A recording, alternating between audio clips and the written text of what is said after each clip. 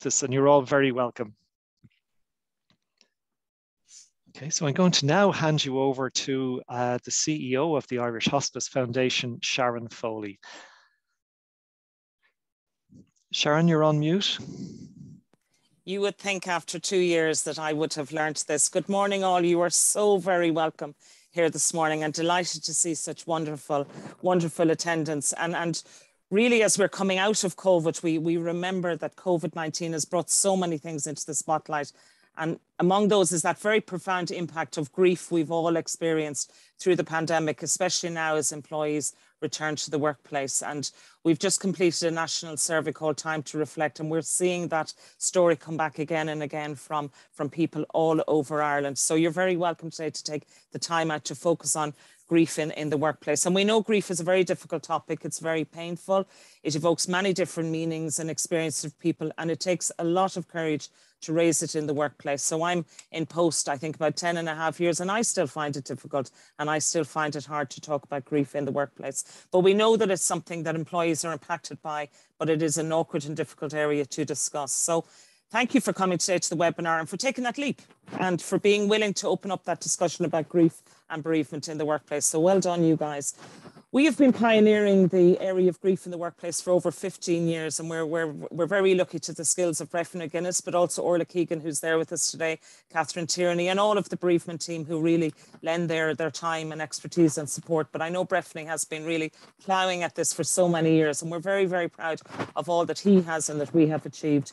And we've seen that work evolve over the years. For example, our work in developing bereavement policy has been adapted and incorporated by the civil service in Ireland and ACAS in the UK and even last night with my own board, we just ad uh, adopted a new workplace policy that recognises the profound impact of grief and somebody's capacity to engage in the workplace. And that's something we all have to recognise. We've all known it as a human level, but it's really important it's reflected at a policy level as well. So since then, we've seen bereavement and grief rise in our consciousness, and no more so through COVID 19. So when Sheryl Sandberg's husband died, she really led a worldwide conversation on grief in workplaces and radically changed Facebook's bereavement policy. And that has had an impact impact, an impact on all of us. We've all been looking at those policies and seeing how we can adapt. I think my is my sound going funny there, Breffney. Um, so workplaces have a responsibility to get real about bereavement supports for employees, and if we're in ser serious about employee well-being, and every CEO that I know at the moment is getting very serious about employee well-being, we need to get serious about grief in the workplace. So when it comes to bereavement support, employees have said that the most important thing they want from their employer is compassion. And that comes from research that we uh, developed in 2018.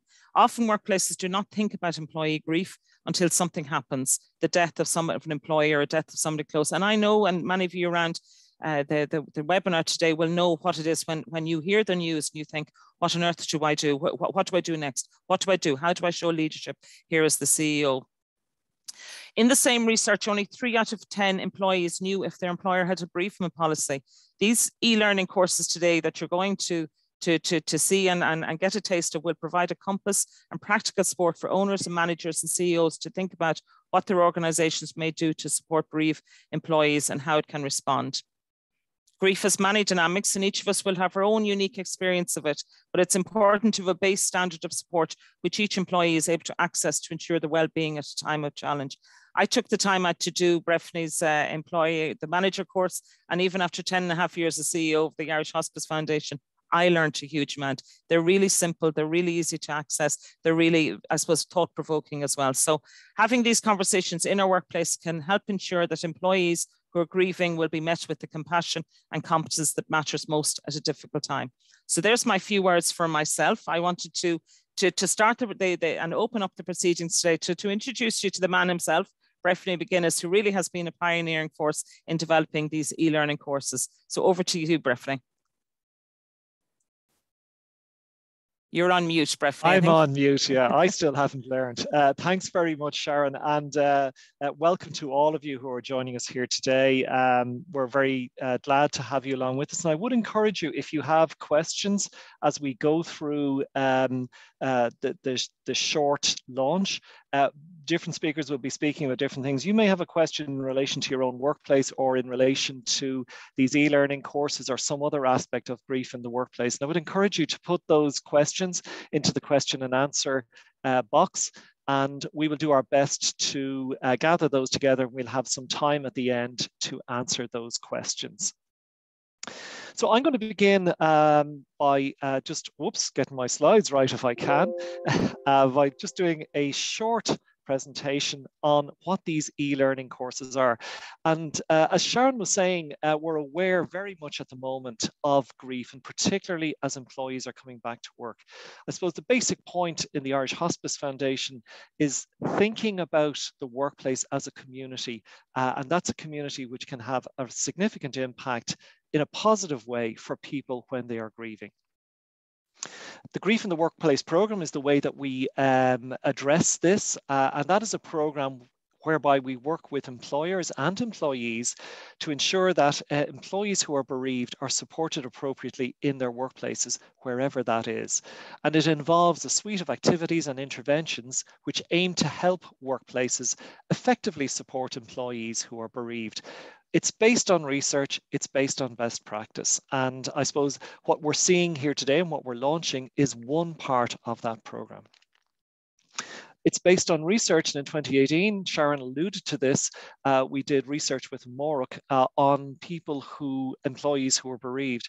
And the standout uh, piece from that was that 75% said when they're bereaved, what they want most from their employer is compassion. If you take nothing else away from today, that would be one of the most important things to remember. Um, and we were chatting a little bit earlier, just before we started the um, webinar here, uh, and, and Joyce was saying from CIPD, it's actually the, the human connection that makes a big difference in bereavement, and that is so true. Um, interestingly, uh, what came last in that survey was people having their privacy respected. So it was it was further down the list. And that's interesting because often we might hold back from saying something to somebody because we might feel we don't want to impose or we don't want to make them worse. But actually what people really want most is for people to reach out to engage with them. Also, as Sharon has said, only three in 10 adults who are employed knew if their uh, employer had a bereavement policy. That doesn't mean that employers don't have a bereavement policy, but the staff didn't know about it. And that, I suppose, is another area to keep an eye on. So what are we launching today? We're launching four e-learning courses, and these are designed um, to address four areas. Firstly, it's coping with grief for managers, and that's to empower managers to be able to uh, engage in conversations with staff, with employees, with workers around grief, to give a framework to uh, know how to respond. The second course is Coping with Grief for Staff, and that's aimed at staff who want to learn about grief, but also want to learn about how to support their colleagues or indeed people in their own families uh, or friends. The third course is developing a bereavement policy for HR professionals. So this again looks at that area of, well, look, what do I put into a policy? What are the areas that I need to think about? And in that course, we provide a number of uh, templates uh, which can be used, one of which, believe it or not, is uh, a template from the Department of Foreign Affairs, which uh, they have developed and which uh, we're very proud to say we've been involved in, but it, it's largely credit is due to them. And it's a, a gold standard in terms of bereavement policy. Lastly, we have, uh, again, a, a, rather difficult topic, uh, and that's where suicide visits the workplace. We hope this never happens, but unfortunately, the reality is that it does. And when it does, uh, this course is designed to equip uh, managers, CEOs, uh, and owners in terms of look how do i respond to this? What are the things that i need to do? And there are practical steps in there uh, to help um, navigate what can be a very challenging situation. Um, these courses were developed um, through uh, the work of one of our uh, uh, staff here, uh, and that's our educationist, Dr. Ashling Novell, who's done tremendous work in developing these. Uh, we tendered uh, to develop the courses. We um, also were very grateful for some funding from Comic Relief, um, and Cobblestone Learning were the company which won the tender, and they have done an excellent job in translating what can be very difficult topics into really practical, easy to use formats. So just in terms of the timing, the coping with grief for staff is approximately 40 minutes long. Coping with grief for managers is approximately 50 minutes. The developing a bereavement policy for HR professionals is approximately 65 minutes, and the responding to suicide uh, for senior managers is approximately 70 minutes. I'm just going to give you a short flavor of um, what is in one of these courses. This is the grief at work for, or the coping with grief for managers. And the audience, it's suitable for managers, human resource personnel, and anyone with a supportive role in an organization who wants to learn about how grief can impact on staff and how to provide effective support.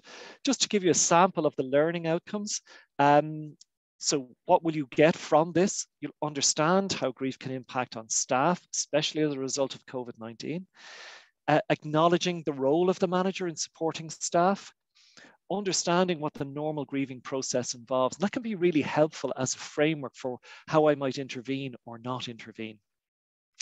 Know how to provide basic support to a staff member. Uh, and we use a, a, an idea of bereavement first aid. It's a simple three step process of acknowledging, validating, and supporting. Really simple, but a good framework to, to work from. And we also look at how to take care of yourself when supporting somebody who is grieving. So we're going to have a little look, brief look at the work. Sorry about that. Excuse me. I'll get my slides back up. We're going to have a brief look at what some of the content looks like. This is a short snapshot of that to give you an idea of what is involved. The workplace and grief. Grief is often a taboo topic in the workplace and can be difficult to talk about. Whether you are the one who is bereaved or you are supporting a colleague who is grieving, it is useful for everyone to learn about grief, recognise how it can impact on people, and know how to respond. In all types of workplaces, support for staff who are grieving is a key element of staff well-being. So uh, again, I put this in here because this is another uh, really important part of the work that we do in the Irish Hospice Foundation and particularly in the bereavement department. Um, it's a bereavement support line. This is a free resource which is open and available to you in your company, in your organization. And again, just in case you might have been impacted or affected by anything that we're going to talk about or we are talking about today, just to keep an eye on that. It's a useful resource. Uh, they're excellent people who are staffing that. Uh, and it's a good thing to have there for you in the workplace. Um, I'm finally going to say where you can find these e-learning courses. Uh, the website is uh, https elearning.hospicefoundation.ie and we'll be putting this into the chat function there. So without further ado, I am going to stop there and I'm going to, uh, I suppose, uh, bring us into the, the practical piece of what this means in somebody's life. And I'm going to introduce you to two people. The first is, um, sorry, uh, sorry about this, Jennifer uh, Hughes. Um, and Jennifer's mum uh, died during COVID-19. Uh, Jennifer was working remotely and Jennifer's going to uh, talk to us a little bit about her experience. Her workplace uh, provided uh, and reached out to her in her grief and provided a um, an intervention for her and other members of staff who were bereaved. She's going to say a little bit about that. And then I'm going to introduce Barry Holmes from the Royal College of Surgeons of Ireland. He's the Human Resource Director there to respond to that and, and give an idea of what it's like from a Human Resource Director's point of view. So uh, Jennifer, apologies for getting your name. I had a brain freeze there. Um, so over to you. Great. I'm sorry, the, the toggle was going on and off there, the mute chambers. Um, this was a fake. So, um, Jennifer, I'm sorry, if you could just lean in, your sound is going a little bit there. Oh, is it? Okay, okay. And I might just turn it up a bit as well. Um, that's that's perfect. Yeah, lovely. Yeah, lovely. So, so Murphy, sorry, just guide me on the question again. So the question um, is, I, I, suppose your mum Patricia died yeah. during COVID. You were working remotely, and your organisation reached out to you uh, in terms of providing support. Uh, and that was provided over um, uh, a period of uh, four sessions, a couple of months. Yeah. yeah. And it's, I suppose, yeah. just to give people a sense of how what that experience was like for you, particularly uh, in, in the vulnerable time when your mum died, and how the, the organization supporting you helped you?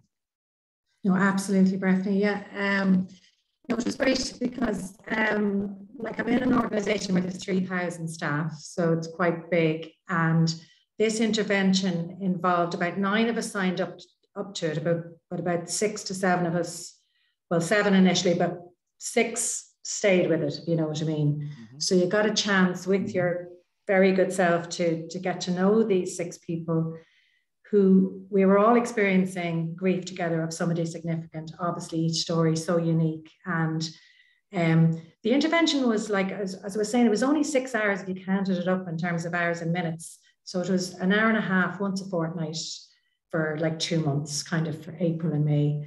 Um, and like it was extraordinary because, you know, I wouldn't have met, I wouldn't have had a chance to meet any of those participants before. Funny enough, I, I knew one of them to see, and that was it. And so we got to, I suppose, share something quite profound, you know. Um, losing someone in the pandemic added to it because, say, like in my case, my mom Patricia was in a nursing home, and it was a real rolling news as we were all in with, you know, will I actually get in to visit? Will I be allowed in, or will I will I reach a roadblock where it's too dangerous with the COVID? And so all that uncertainty kind of heightened things. Um, I was fortunate in the last week of her life, myself my brother did get in, and we literally had a kind of a a deathbed vigil going on for a week. But you know, in in all the sharings, you know, other people they had their loved one in a hospital and they couldn't get in, or they were trying to talk to them through glass, and you know, so, so even within the pandemic, you know, the stories varied quite a lot. So, so um, I mean, it was so well structured your course, Breffney, and like you're such an excellent facilitator. You know, you just you just made it so safe for us all. You know, we were literally strangers meeting on that first session, and it was raw. The first session, there was a fair bit of tears and Kleenex and everything at the ready. Um, but I just felt like, just felt our humanity was honored, you know, because you do bring your whole self to work, you know. Sorry, yeah. yeah. No, that's great. And uh, again, I did uh, that uh, session, those sessions were, were organized by your workplace and it was their awareness yeah. around the well-being needs of their employees uh, that prompted yeah. them to do that. And I, I, suppose that's what we're looking at today is kind of raising that awareness for employers that look, uh, when employees are bereaved, it's good to respond to that. Can I ask Absolutely. you, Jennifer, just yeah. maybe as a, a, final point there, um, what what difference did that make to you in terms of your uh, kind of sense of uh, belonging to the employer and, and your commitment to your work in that?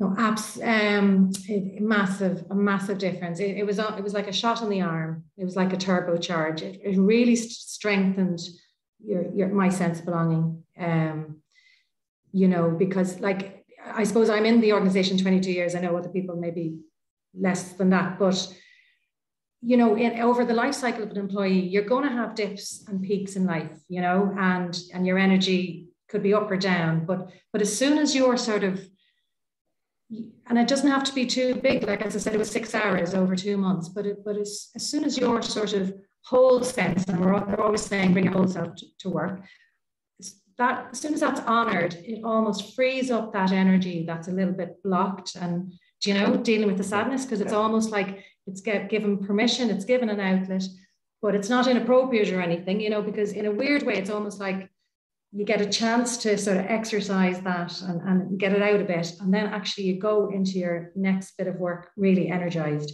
So I absolutely think it's a win-win. It's a win for the employer and it's a win for, the, for us, the employees. Thanks very much, Jennifer. Uh, we'll come back maybe to some more of those points a little bit later, but that, that's fantastic. Barry, if I could bring you in there and maybe just your own response as a human resource director, uh, and again, in, in terms of uh, how you see it and, and the value of uh, responding to employees who are bereaved. Yeah, thanks, Breffney, and thanks, uh, Jennifer, for, for being so open in terms of sharing your perspective there. I mean, it's it's interesting. Just briefly, you know, you hear a lot of HR organizations are changing their names. I mean, I think it's really important now more than ever that human resources is actually that that humanity is is actually core to what um what we're all about, and we're all human beings at the end of the day. And I think what's really uh, um, of value to me, I suppose, is the fact that the courses that you've produced are evidence based. I would say that in, a, in an organization that prides itself in its research, um, but I think it's really compelling that the the courses that you've you've pulled together, which are are very um, short, sharp, bite-sized, um, easily digestible, user-friendly. You know, I've had a look through them, and and they're excellent. So great credit to you and the team in, in terms of their production. I mean, I for me, there's kind of a couple of things that sort of strike me as a as a sort of a HR person when I hear this um, this topic, um, that I think it means different things to different people, and sometimes uh, managers and and people leaders get the heebie-jeebies if they haven't dealt with it before. So there's kind of this sense of confidence in their ability to be able to deal with it um, and what they say, what they what they don't say, um, and effectively, I suppose, recognizing the fact that you know there are some managers who do this very well and, and naturally, and others that don't. And I think what we have to do is try and uh, bring this conversation into its wider construct in terms of well-being. So, so, and I think uh, Sharon, your CEO, mentioned that at the outset that I think this is part and parcel of well-being, and um, and, and where someone is bereaved, and I, I know from conversations, briefly that we've had before, I think the, the use of language is really important. Um, you know, that that this is part of life. And, you know, uh, if, if, if for no other reason than over the last two years that people's work life and personal lives have become much more blurred.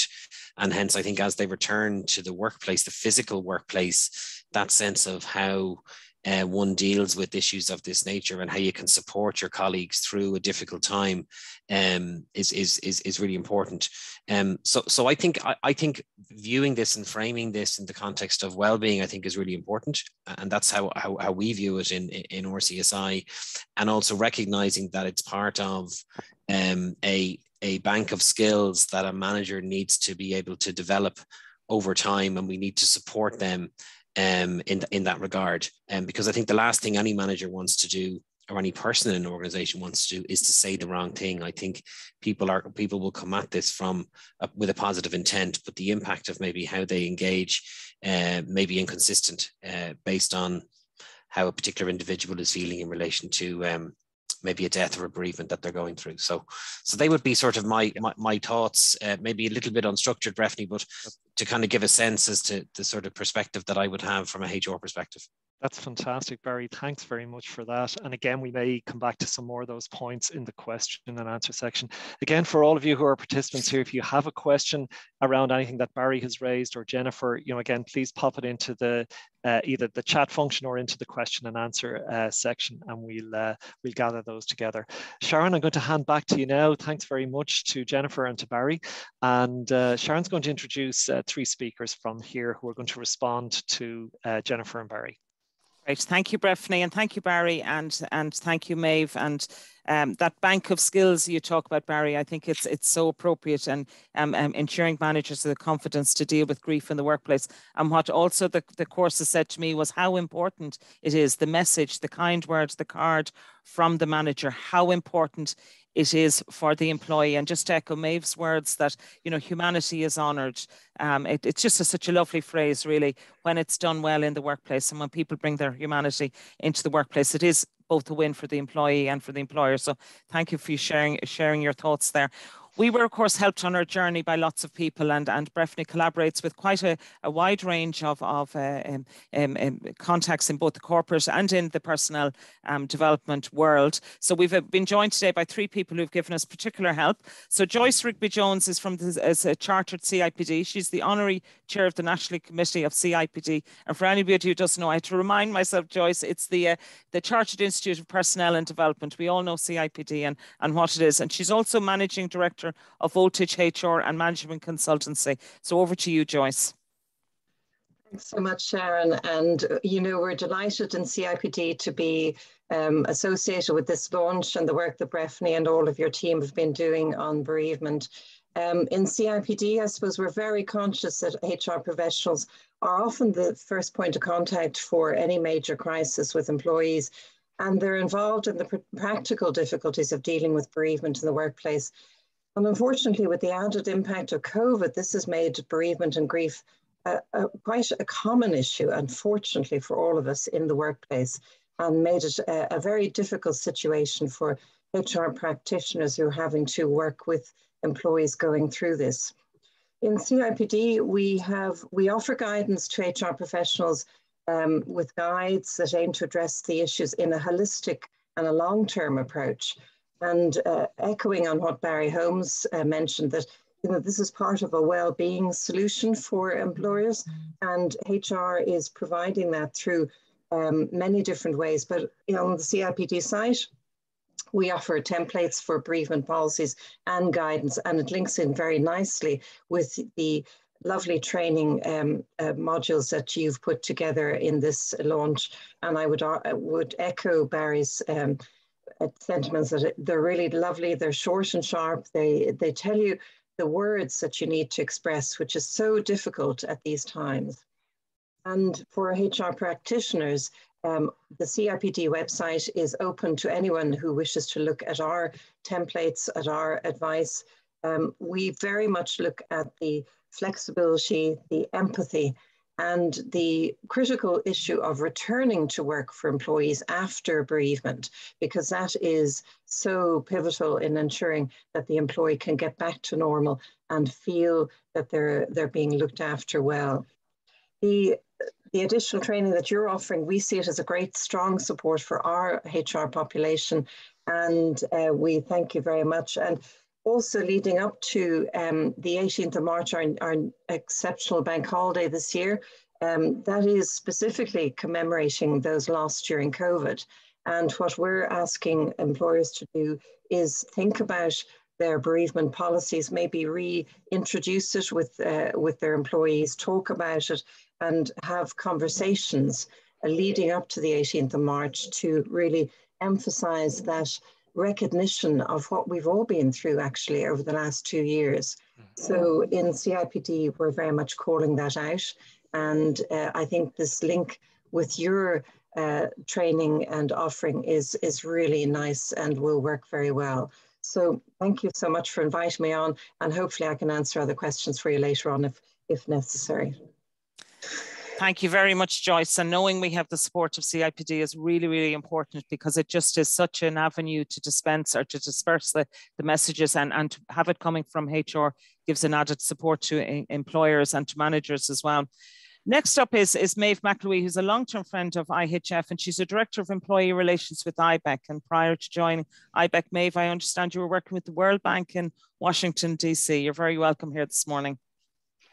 Thank you very much, Sharon. Of course, that's a, a lifetime ago now. Um, delighted to be here this morning and thank you so much for the opportunity to collaborate with you on this. And I think as other contributors have said this morning, such an important part um, of everybody's day-to-day -day life. Um, and I think for ourselves, you know, in the workplace, employers are, are so often unsure of how to deal appropriately and effectively with some of these issues um, and how to support people who are grieving. So I think the development of these e-learning modules um, are a great resource for employers. Um, and certainly I think the inclusion of, you know, the case studies, talking about lived experience, really important for um, you know, how to learn to approach that whole area of grief within the workplace. So um, I think a, a, fantastic resource overall.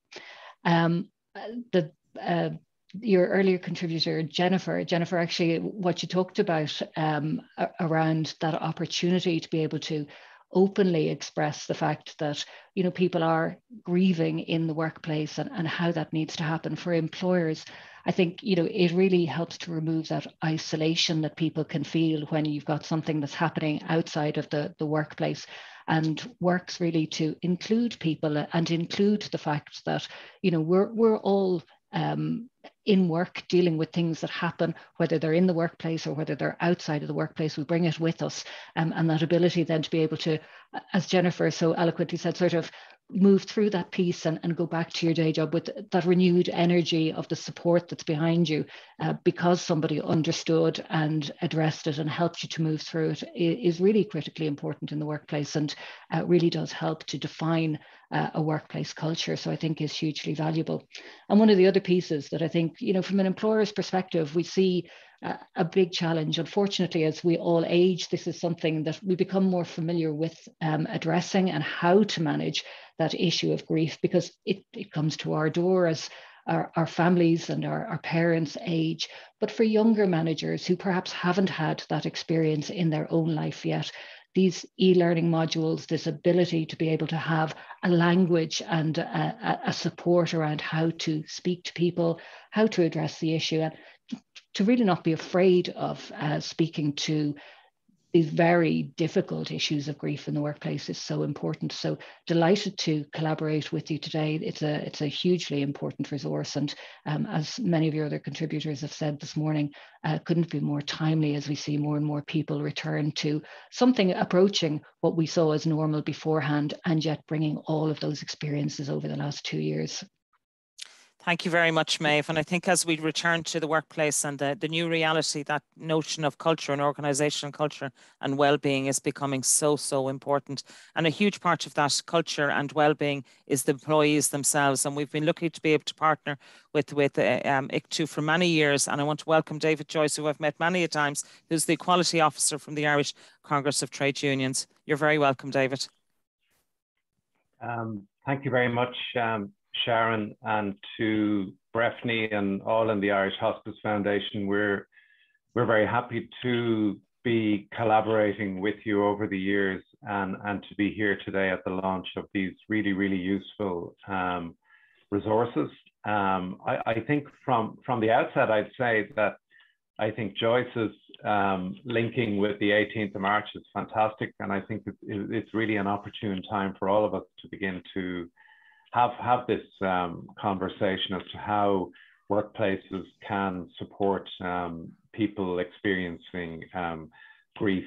Um, I um, I went through the uh, resource for for staff, um, the the the, the e-learning section for staff, and I have to say it was really really useful.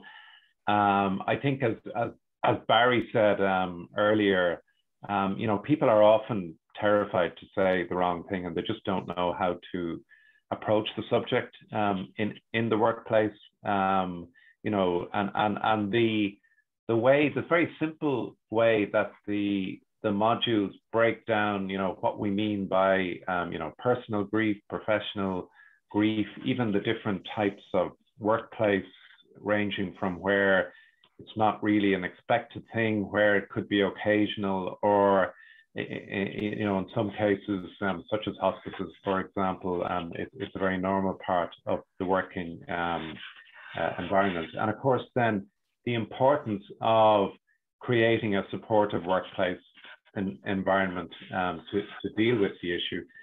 And I think um, one of the key issues I, I, I take from from all of this and, and as Sharon said at the start if she learned from uh, going through the modules, you can imagine someone like me learned even even even more. You know, not kind of coming in, in into this from from the outside.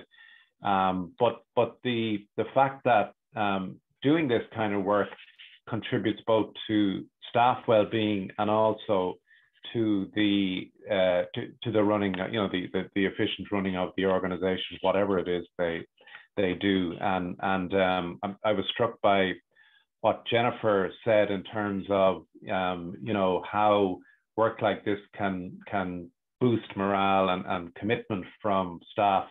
And I, and I think Jennifer, you called it a shot in the arm, and, and I think that, that that's a really nice um, e expression. And and and you know, being at work um, can of course be a a help for someone experiencing um, grief, um, you know, the routine, etc but it, I don't think it happens by accident. And I think having these kind of resources um, can help workplaces put the, the correct um, uh, you know, environment in, in, in place to deal with that. The personal um, stories in there are fantastic. Um, that, that they really help you kind of really get, get, get under the bonnet, if you like, of, of all of this. And Aoife's story of um, losing a baby and the exercise on how how you might respond was I found really really useful, particularly with the emphasis on you know engaging um, with Aoife and, and listening to her experience, um, and then of course also noting that it's not something that um, disappears in the you know in the week or a few weeks after um, somebody experiences um, the, the loss, but it's something that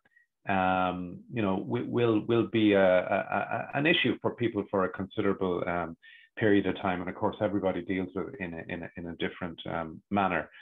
Um, so, um, you know, learning that, you know, you have to acknowledge it, to validate um, people's feelings and, and support by, by giving space to them is, is really important. So look, I, I just wanted to say those few things. I think the importance of, um, you know, every worker being supported in this way, um, you know, um, is, is really uh, important and a, and a key part, as others have said, of staff well-being and, and indeed mental well-being. And I think these resources provide us with the um, opportunity to ensure a kind of equal and fair approach in, in workplaces to, to the, the subject of, of grief.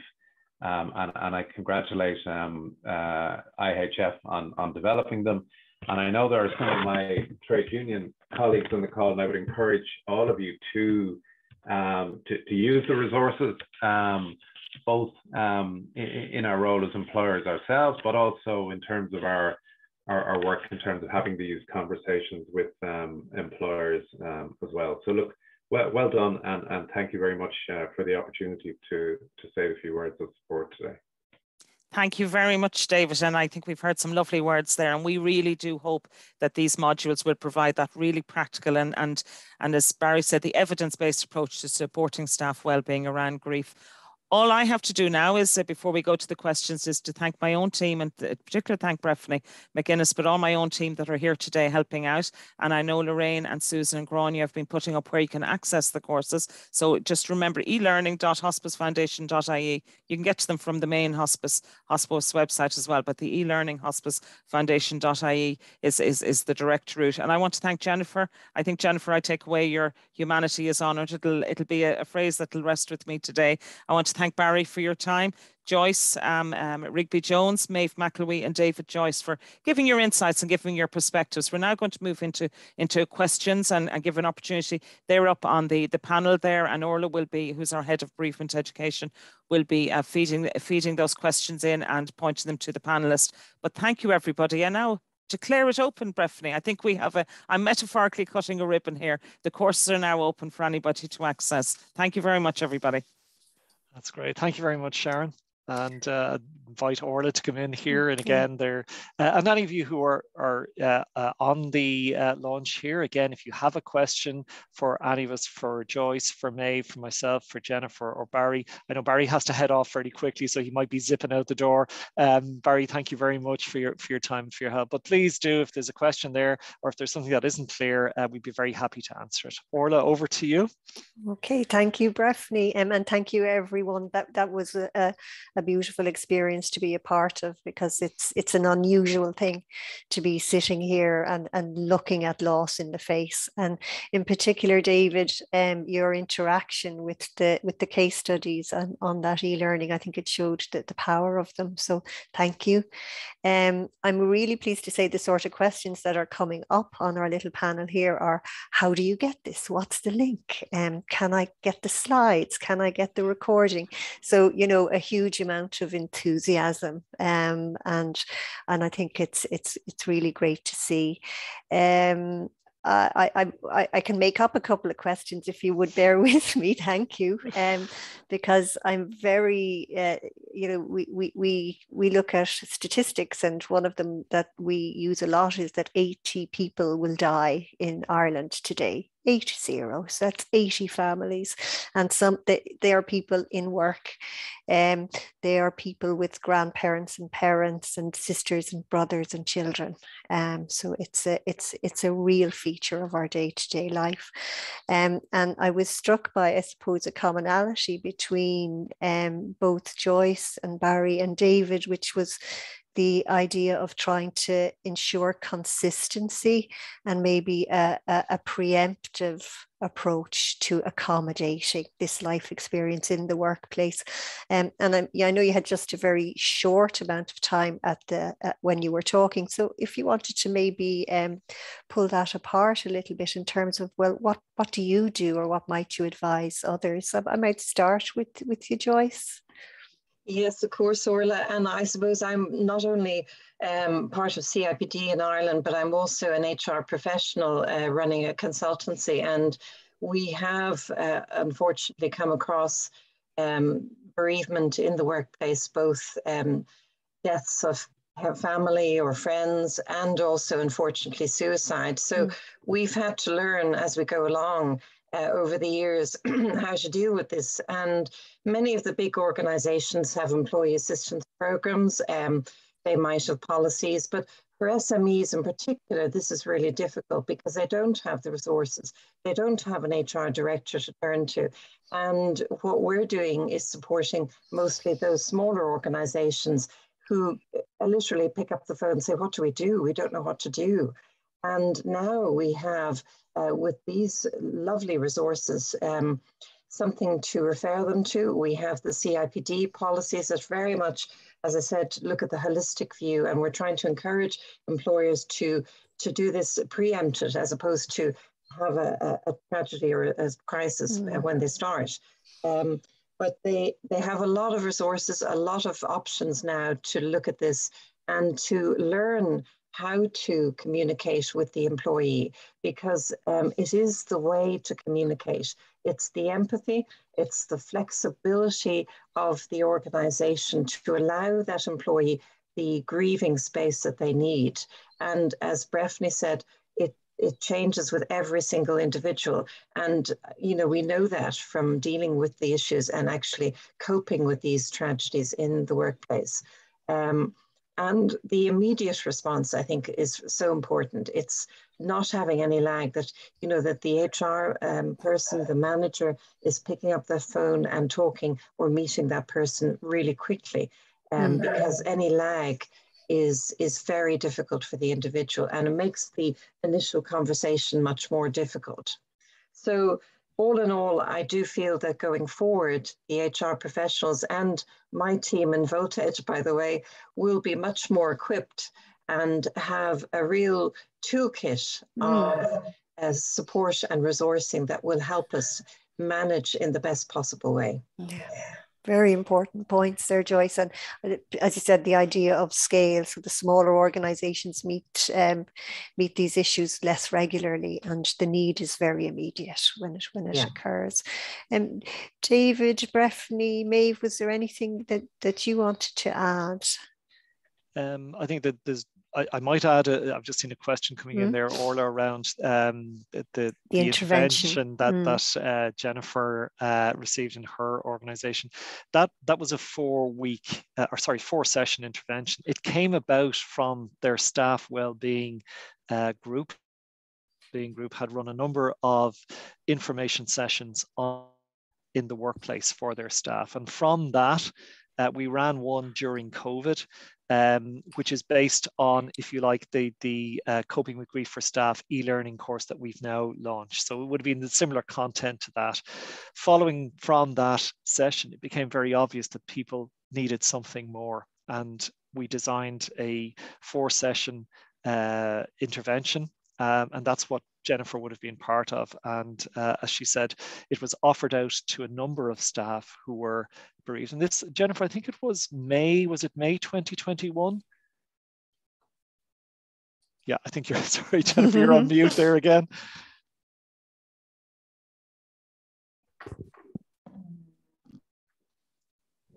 Yeah, no. Okay. Yeah, yeah that's sorry. okay. We can hear you now. Yeah, I think it was May 2021. So it would have been at the height of the second lockdown. And uh, I suppose what, what became very obvious was that the fact that people were working from home and were disconnected from the normal support that you might get in a workplace, that was an added factor.